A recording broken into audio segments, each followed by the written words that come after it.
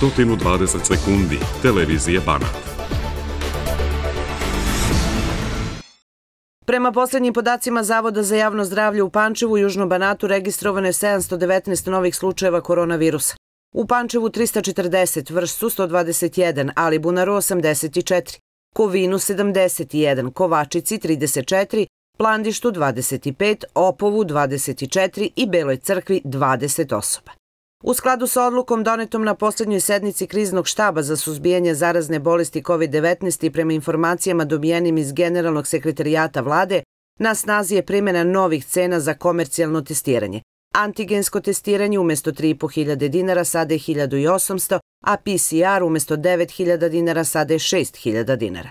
Od početka drugog polugodišta školske godine autobusi prevoznika Stup Vršac koji prevoze đake sa teritorije grada Vršca i opštine Plandište ponovo saobraćaju po redu vožnje koji važi tokom odvijanja nastave u mesnom i međumesnom saobraćaju. U Gradskom muzeju u Vršcu 22. januara od 17 časova je svečano otvaranje izložbe Sjaj ruskih slikara. Izložena dela su iz Vladimira Pašića, izložbu će otvoriti kustos Nikola Kusovac. Otvaranje će upriličiti nastup baletskog ansambla i koktel u ruskom stilu. Na repertuaru Narodnog pozorišta Sterija 22. januara 20 časova je predstava Erotski tehničar. Tokom dana u vrstu hladno vreme praćeno gusto maglom. Najviša dnevna temperatura 1 stepen ispod nule.